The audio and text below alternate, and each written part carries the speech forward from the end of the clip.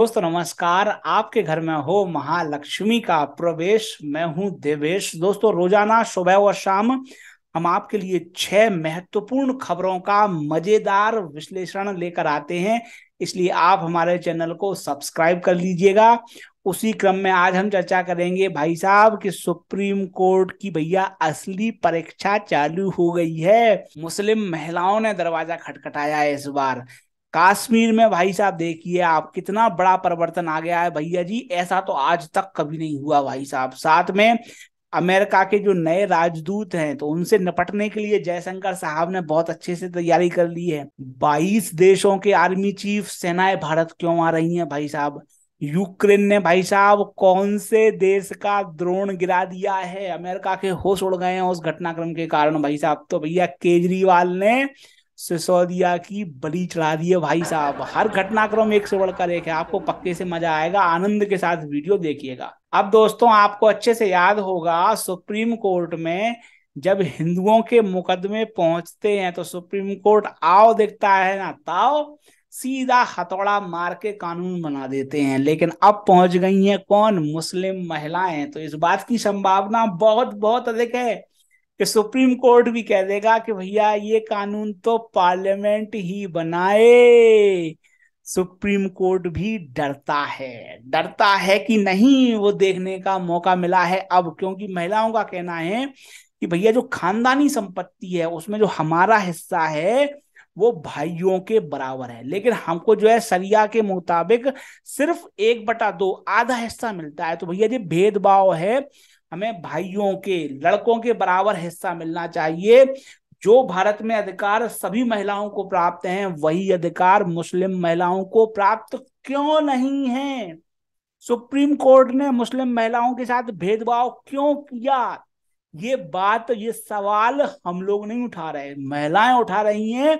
Supreme court की अग्नि परीक्षा चालू हो चुकी है। चंद्रचूड़ साहब, आपका चूड़ा कितना जायकेदार है, मसालेदार है, वो देखने का टाइम आ चुका है भाई साहब। अब दोस्तों, आसमान में जो ध्रुव तारा है ना, उसका काम क्या होता था? भटके हुए राहियों को रास्ता दिखाना। लेकिन यूट्यूब पर जो ध्रुव तारा है वो भैया लोगों को भटकाता है। उन्होंने बहुत दिनों पहले वीडियो पोस्ट किया था, हमें आज भी याद है, ज़िंदगी में नहीं भूलेंगे भाई साहब। क्या था कि 370 के हटने से कोई बदलाव नहीं आया है। हमने उनसे कहा कि भैया जी जे का है? फिर बताओ आप।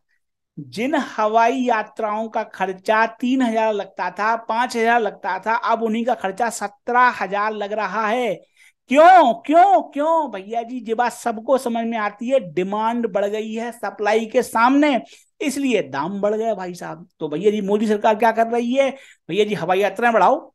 यात्रियों को नहीं रोकना है। हवाई यात्राएँ बढ़ाओ। अब तो भैया जी, जमीनी रास्ता बन रहा है, बारह महीने चलने वाला, रेल बन रही है भाई साहब, रेल पहुँच रही है वहाँ तक। तो भैया जी, और यात्री जाएँगे। अरे भैया जी, आप विश्वास नहीं मानोगे, भैया जी, पिछले तीस सालों में सबसे अधिक टूरिस्ट पहुँचे हैं कश्मीर में। अब ये टूरिस्ट जो गए हैं, ये चाय ना पियेंगे, नाश्ता नहीं करेंगे, घूमेंगे, फिरेंगे नहीं गाइड नहीं लेंगे, होटल में नहीं रुकेंगे। मतलब जॉब्स पैदा हो रहे हैं। कश्मीर की समस्या क्या लोग बताते थे? भैया जी, लोग बेरोजगार हैं तो भैया खत्म कर दी ना बेरोजगारी की समस्या एक बार में। अब दोस्तों, आपने विक्रम बेताल की कहानियाँ तो सुनी है। विक्रम तो भाई साहब, जयशंकर साहब हैं तो बेताल कौन है? बेताल भैया जी जे हैं भैया जी। दो साल, तीन साल तक बाइडन बब्बा ने इंतज़ार किया। बोले, क्यों बोले, हमें बेताल को ही भेजना है, एम्बेसडर बना के। तो भैया जी बेताल आ गया है तो जयशंकर साहब का कहना है कि भैया जी, प्यार से समझा देंगे। हमें पूरा भरोसा है, जयशंकर साहब कर देंगे, संभाल लेंगे लौंडे को। बस भैया जी, भगवान श्री राम ने कहा है कि भय बिनु प्रीत ना हो तो गोसाई। भय बिनु प्रीत ना हो तो गुसाई। जो मतलब प्यार से बात करना है, लेकिन साथ में तेल पिला के डंडा भी रखना। अपने पड़ोस में भाई साहब, नहीं तो नहीं तो भैया जे नहीं समझेंगे। भैया जी इन पर भैया ह्यूमन राइट्स मानवाधिकारों का फितरू चढ़ा हुआ है। सी की इनका ऊपर चुड़ैल सवार है इसलिए मुँह तो खोलेंगे भाई साहब। बिल्कुल चुन के भेजा है बाइडन बब्बा ने। इसलिए भैया निपटने के लिए पहले से ही तैयार रहना है अपन को। अब दोस्तों आप स्वयं देखिए भाई साहब, एक जमाना था, भारतीय सेना दुनिया में जाके भैया उनके हथियार देखा करती थी। नहीं भैया जी, अब देख लो आप, बाईस बाईस देशों की सेनाएँ और आर्मी चीफ भारत आ रहे हैं। क्यों भाई साहब? भैया जी, भारत की स्ट्रेटजी देखो, भारत के जो नए नए हथियार हैं, वो देखो, सस्ते में हाई क्वालिटी हथियार मिल रहे हैं तो क्यों ना खरीदें? अफ्रीका के इतने देश आ रहे हैं, वो आप में से कुछ लोग कहेंगे कि क्या यार अफ्रीका के देश जो है विकासशील देश हैं, गरीब देश हैं, इनकी बातें क्यों करते हो? तो हमने कहा कि भैया जी एक एक छोटी लकड़ी को तोड़ना आसान होता है, लेकिन लकड़ियों के गट्ठे को कोई नहीं तोड़ सकता भैया। तो भारत लकड़ियों का गट्ठा बना रहा है। और क्यों बना रहे हैं? क्योंकि भैया जी, हमें भगवान श्री राम ने यही सिखाया है। दुनिया में आप पूरा घूम लीजिए चिराग लेके। इतनी अधिक विविधताओं और विषमताओं से भरा हुआ गठबंधन और किसी ने नहीं बनाया। और वो गठबंधन बना के उन्होंने लंकेश रावण को हराया। और वो जो राम की गठबंधन की स्ट्रेटजी है भाई साहब, उस पर हमने फोकस नहीं किया। लेकिन अमेरिकियों ने यही रणनीति अपनाई। वर्ल्ड वॉर वन जीता वर्ल्ड वॉर टू जीता और आज भी इंडो पैसिफिक स्ट्रेटजी, भगवान श्री राम की स्ट्रेटजी है अलायंस की। तो भैया, हम वही अलायंस बना रहे हैं। हमने जो गलती पानीपत के पहले, दूसरे और तीसरे युद्ध में करी, तराइन के युद्ध में करी, जिसमें हमारे सम्राट पृथ्वीराज चौहान हारे थे। अठारह सौ सत्तावन की क्रांति में जो गलती करी, वो गलतियाँ अब हमें नहीं करनी है। मज़बूत गठबंधन बनाना है, वही कर रही है मोदी सरकार। अब दोस्तों एक बात कही जाती है कि बरगद के नीचे घास नहीं उगती।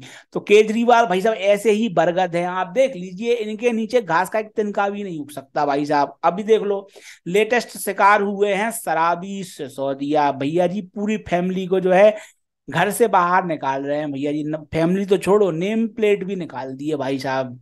कौन आ रही है इनकी जगह? तो इनकी जगह आ रही है आतिशी मार लेना इनका सरनेम बड़ा कमाल का है भाई साहब। नाम बड़े और दर्शन छोटे नहीं है, इनके नाम भी बड़े हैं और दर्शन भी बड़े हैं। नाम नाम था मार लेना इन्होंने भैया जी मनीष सिसोदिया की गड्डी मार ली है और उसी की जगह बैठ गई हैं। तो भैया जी अपने सरनेम पर पूरी खरी उतर रही हैं ये। बड़ी बात ये है भैया जी के केजरीवाल, देखो साहब, किस तरह अमर बेल है भैया, खा गया भैया जी। सिसोदिया साहब जेल में बैठे हैं और यहाँ जो है फैमिली को धक्के मार के निकाल रहे हैं बाहर बंगले से। भैया जी, क्या तेजाई है ऐसी, इनको पता नहीं आता। अब दोस्तों, आप स्वयं देख लीजिए, अमेरिका भैया जी बाइडन, बब्बा चिल्ला चोट मचाते रह गए और चीन ने भैया ड्रोन सप्लाई कर दिए। अब भैया जी यूक्रेन ने मार के गिरा दिया। अब काहे का इंतज़ार है भैया तुम्हें? चीन क्या भैया जी? लिखित में अमेरिकी जहाजों में हथियार भेजेगा तभी तुम्हारे दिमाग का बल्ब जलेगा। लेकिन भैया चीन ने भी ऐसा कबाड़ी द्रोण भेजा है कि भैया एक फोर्टी सेवन से गिरा दिया यूक्रेन ने। मतलब ये जो है, रूस की मदद भी ऐसे कर रहे हैं कि रूस भी जो है, कर्म फोड़ के रोएगा कि भैया जी क्या जो है तुमने जो भंगार भेज दिया हमारे यहाँ पे? लेकिन मुद्दे की बात यह है कि भैया, अमेरिका, तुम जो है, अखबारी जंग लड़ते रहो बेटा। कुछ नहीं हो सकता तुम्हारे साथ। भैया जी, इनके कंसेप्ट हिले हुए हैं। कुछ नहीं कर सकते भैया बाइडन बब्बा के साथ। आप दोस्तों, बचपन में दादा, दादी, नाना, नानी माता पिता सबने आपको कहानियाँ पढ़ाई थी। क्यों? ताकि आप बड़ापन में और बुढ़ापे में उसका इस्तेमाल करें, पैसा कमाएँ। लेकिन होता क्या है, जब काम करने की बारी आती है, तब हम जो है उन कहानियों को भूल जाते हैं। तो ये जो समस्या है, उसको हमने कर दिया है, समाप्त, वो भी फ्री में, बिल्कुल फ्री में। बिल्कुल फ्री वाला फ्री है फ्री रहेगा हमेशा। ये कोर्स लॉन्च किया है चार्ट महालक्ष्मी जी की कहानियों का कोर्स इसी वीडियो के डिस्क्रिप्शन बॉक्स में लिंक दी गई है, उस पर क्लिक कीजिएगा तो व्हाट्सएप ओपन होगा। वहाँ आप अपनी जीमेल आईडी हमें दे दीजिएगा। हम आपको हमेशा के लिए फ्री में एक्सेस दे देंगे। ये वीडियो देखने के लिए आपका बहुत बहुत धन्यवाद। जय श्री राम।